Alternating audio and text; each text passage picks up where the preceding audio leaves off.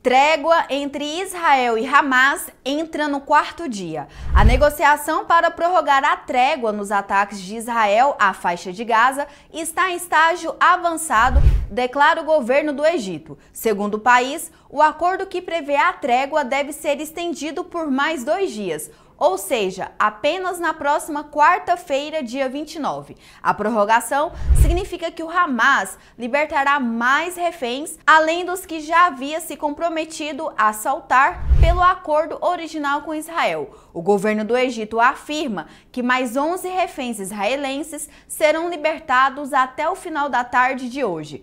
Para saber mais, fique ligado aqui na Ligue TV Digital.